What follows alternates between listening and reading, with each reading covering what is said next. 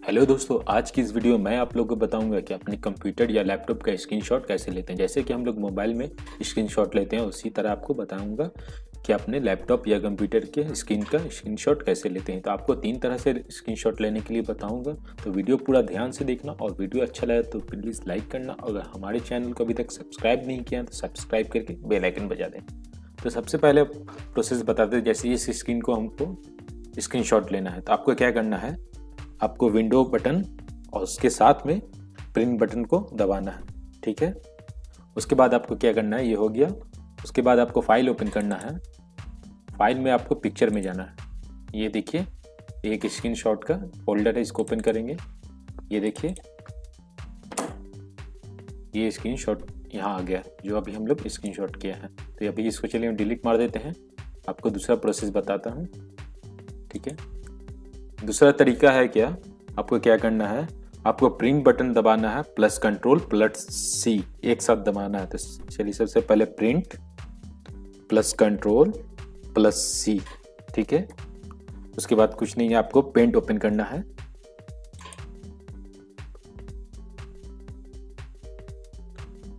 Paint open करेंगे।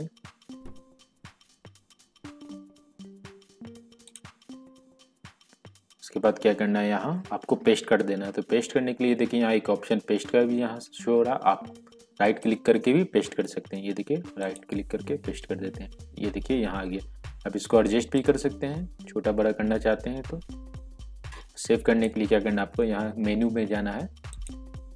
और यहाँ देखिए सेव का ऑप्शन है। यहाँ से आपको सेव करना आपको जो भी फ़ाइल नेम रखना है, रख सकते हैं। स्क्रीनशॉट ठीक है उसके बाद इसको सेव कर देंगे।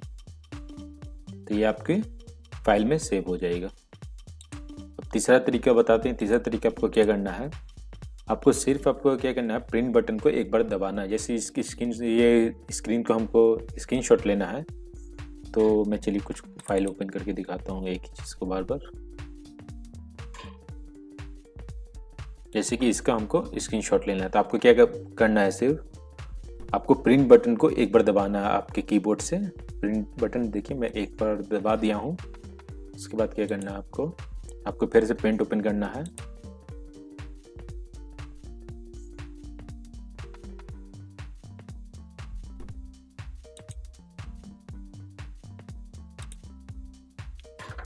पेंट ओपन करेंगे। न्यू में जाएँगे।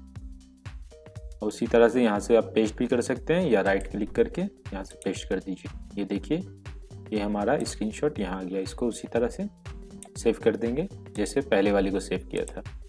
कुछ भी नाम दे देंगे।